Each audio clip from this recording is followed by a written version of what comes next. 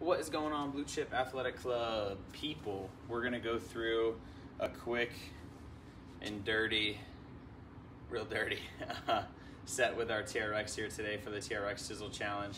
So we're gonna go to our TRX. We're gonna work for 30 seconds on, 10 seconds off for a total of three rounds.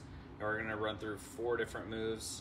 Uh, first one's gonna be TRX biceps. So what you're gonna do is set your straps to mid-length my straps are right now at full length. Notice the tab is all the way at the bottom of the length of the TRX now. So we'll set them to mid-length, meaning the tab's right there in the middle. And unlike you, you don't have to pay 250 bucks with a TRX certification class to figure that out like I did. so next thing you're gonna do is you're gonna get yourself into that bicep curl pattern You'll have your arms out, elbows nice and high, and now you're just gonna curl your fists up right by your temples, and you'll repeat the pattern for the full 30 seconds of work. After that 30 seconds of work is done, you'll shake it out, you take 10 seconds off.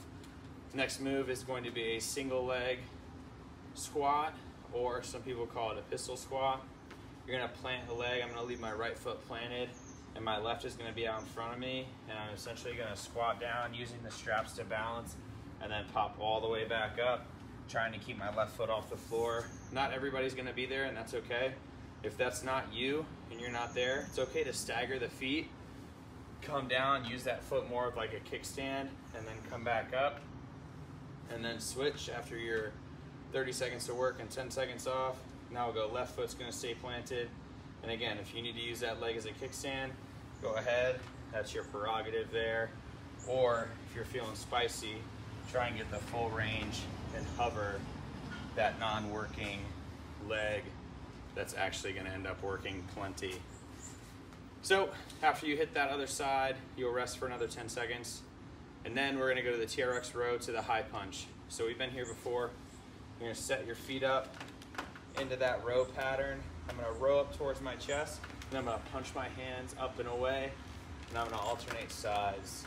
Into the chest, hands up and away behind you. Into the chest, hands up, away, and behind you. And you'll rip through for the full 30 seconds on. You'll take 10 seconds off. You'll do those four moves two more times. Whew, and then you will be done. Good luck with this one. Have fun with it. And I'll see you guys on the next one.